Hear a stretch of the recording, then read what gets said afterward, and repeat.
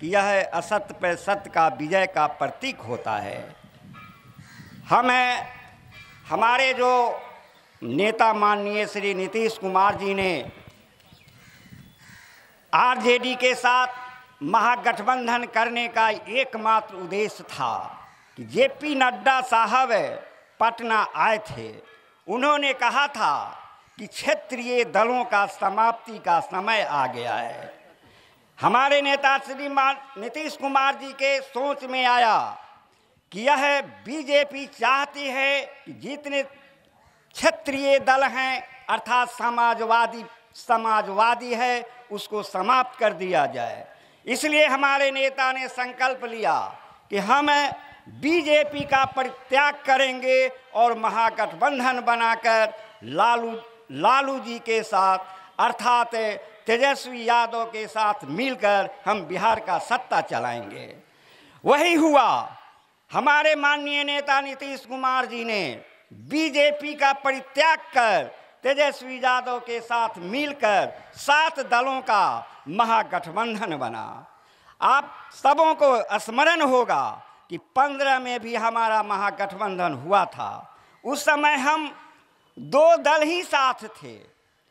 RJD और JDU. उस समय बीजेपी को विधानसभा में मात्र 55 सीट आया था। आज सात दलों का, सात दलों का यह महागठबंधन है।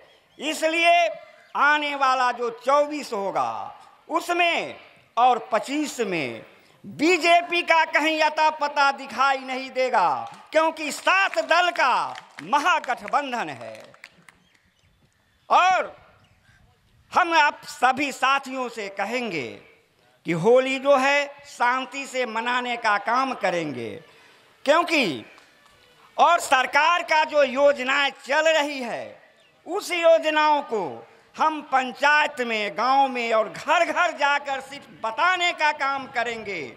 अगर बिहार सरकार की जो योजनाएँ चल रही है, उस योजनाओं को अगर हम घर घर तक पहुँचा देंगे और जो बीजेपी का जो कार्य है, उसको घर घर तक अगर हम पहुँचा देंगे तो आने वाला 24 और 25 में बीजेपी कहीं दिखाई नहीं पड़ेगा। यही आशा और विश्वास के साथ हम अपने बात को विराम देते हैं। जय हिंद, जय महागठबंधन, जय नीतीश कुमार, जय तेजस्वी यादव।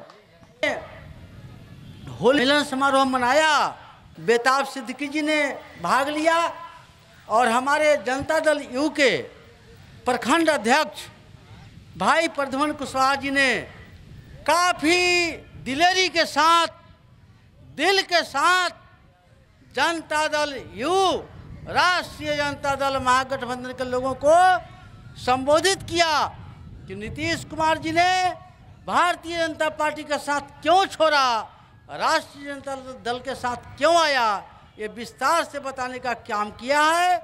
मैं इस मंच के माध्यम से भाई प्रद्युम्न कुशवाहा जी, आपका कोटि कोटि अभिनंदन बंदन और चंदन करते हैं कि आपने सच्चाई को जो बड़े लोगों का सोच है, उसे इस मणिपुर के प्रांगण में राष्ट्रीय जनता दल के लोगों के बीच आपने बताने का काम किया।